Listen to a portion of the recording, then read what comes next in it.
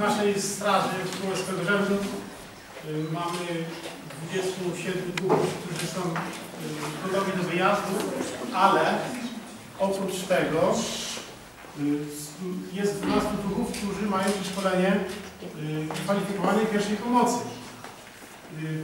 Owszem, każdy może udzielić tej pierwszej pomocy, ale kwalifikowana pierwsza pomoc jest to tytuł, który dostaje się poprzez kurs.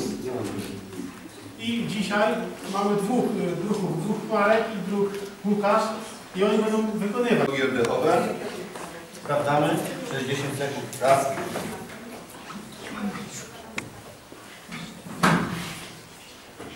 Nic się nie dzieje. Zaczynamy reanimację. Wyznaczamy oś.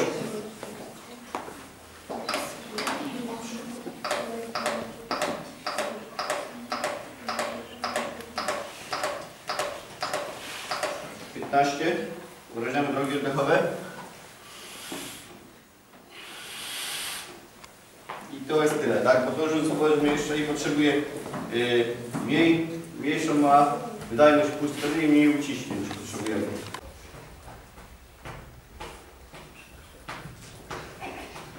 Czyli Krzysiek na początku, jak wiecie, udrażnił drogi oddechowe.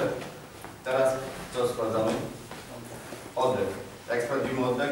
Przykładamy ucho do jego ust i patrzymy na kartę. I będzie słyszał, że nie oddycha. Tak. Jeśli jesteśmy sami, y, to pochodzi jakoś to w międzyczasie sobie liczy do 10 sekund. Osoba nie oddycha. Ciśnienie. Tak. Tak.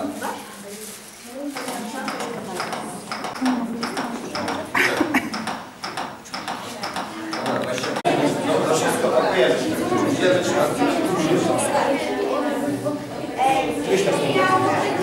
teraz.